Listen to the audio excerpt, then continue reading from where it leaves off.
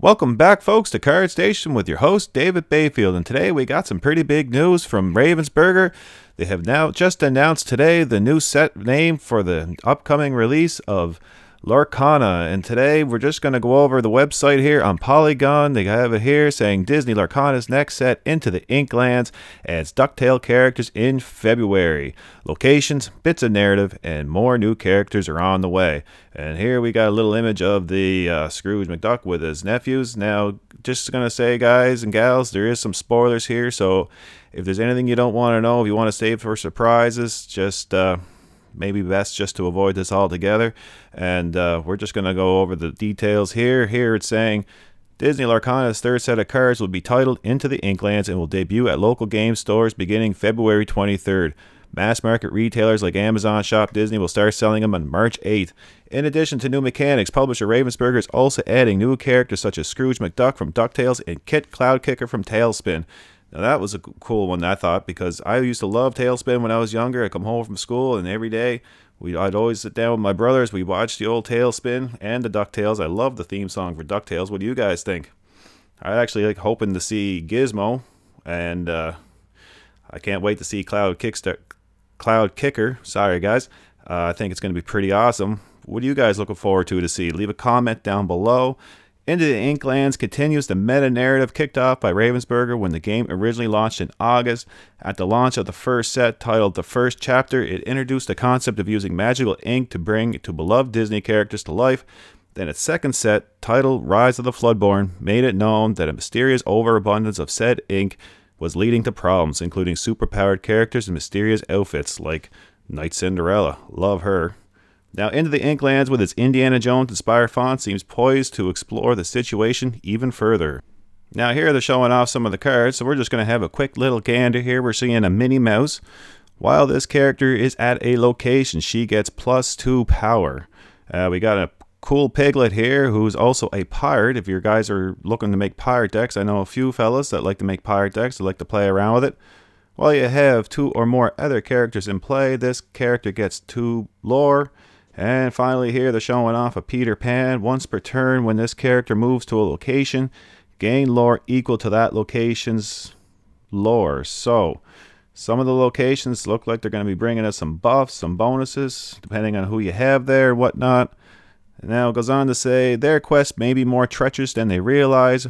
Ravensburger said in a news release Wednesday as an ominous shadow storm has been spotted gathering at the edges of Lorcana adding urgency and mystery to the path ahead.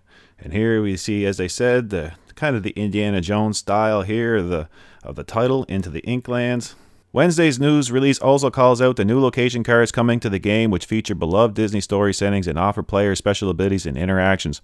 The first batch of locations will include Motuni from Moana, my apologies, I probably just butchered that one name, and the Jolly Roger from Peter Pan, among others that have yet to be announced.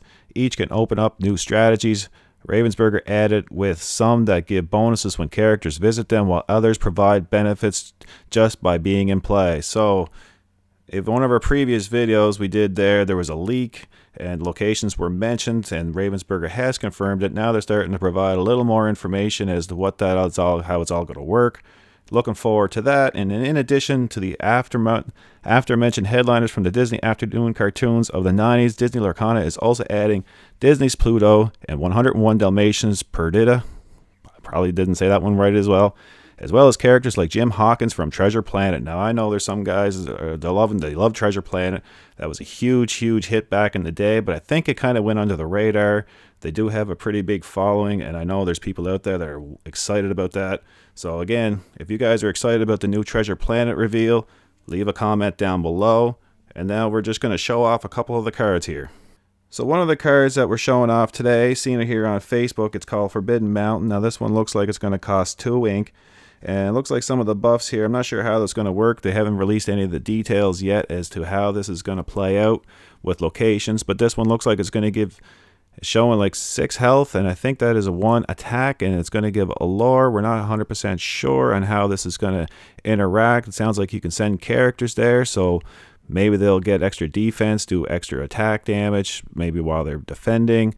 And we also saw on Facebook here, we got some more images. We seeing here, they're showing off the Moana playmat. There's also a Stitch playmat, it looks like, along with uh, Scrooge McDuck, looks like card. Uh, deck box, we got, what else do we got here? It looks like Scrooge McDuck deck, uh, deck sleeves. I believe that's TaleSpin box, deck box, and sleeves. And we also have what looks like here a emerald and emerald, sorry, amber emerald starter deck with 101 Dalmatian and Peter Pan, and we got a Ruby Sapphire. I believe that's a TaleSpin and a duck Scrooge McDuck here. Looks like DuckTales on the box here. Starter decks. So we're going to get two more starter decks. They're not going to do the three like they did with the original set. I think some people are a little let down that the second set there, Floodborn, only got the two deck boxes.